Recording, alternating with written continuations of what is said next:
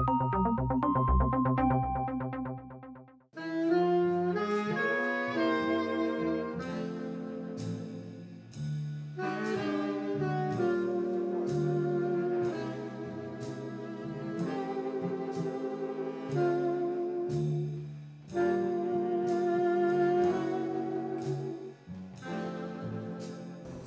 hip. It's a hip class. Uh, we get a chance to learn various genres of uh, jazz music, but our biggest thing is learning how to swing.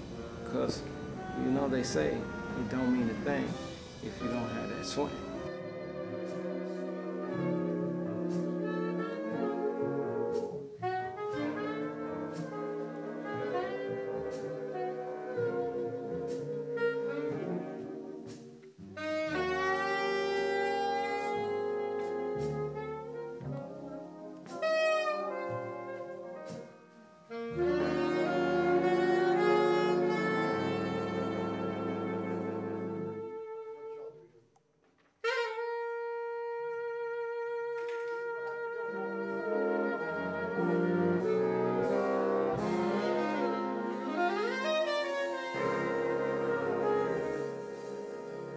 We really have a good time learning how to swing and learning the music of the various jazz masters.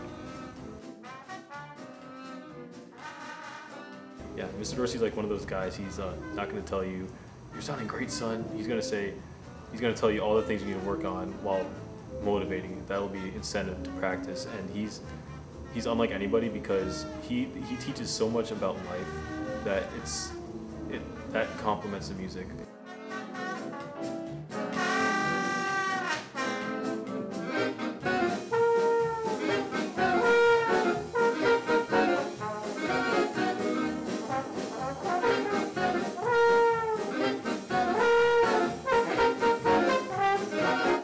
It just lets you know that you're doing something right.